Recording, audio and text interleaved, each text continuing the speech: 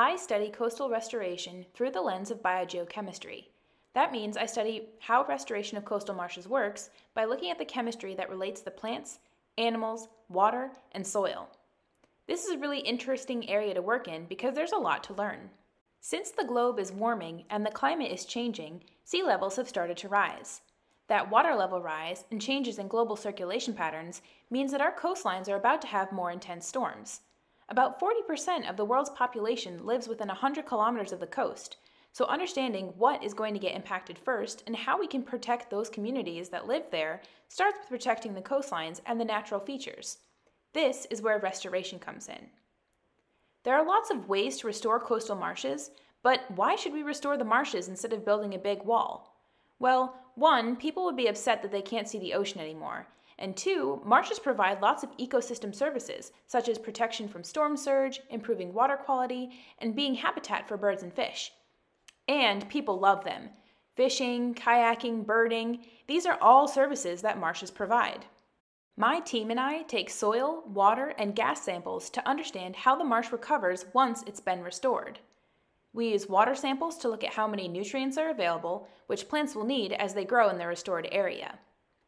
The water samples are analyzed on a bunch of different equipment in our lab, including a benchtop pH meter and a Thermo Fisher Gallery Plus. We use the gas samples to look at the fluxes of greenhouse gases that are coming off of the marsh as a result of being disturbed by the restoration.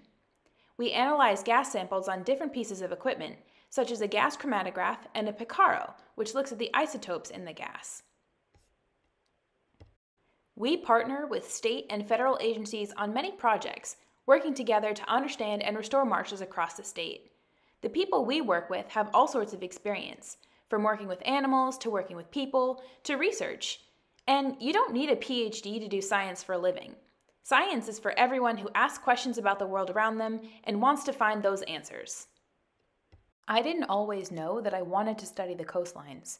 When I was in high school, I took an environmental science class that really made me interested in the environment, but I didn't even know that I could be a coastal scientist.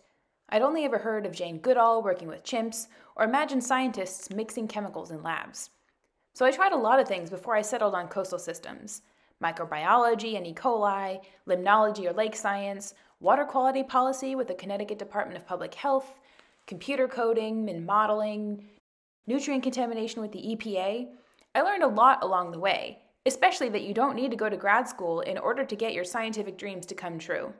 That was the path that I took, but I work with so many people who found their own way.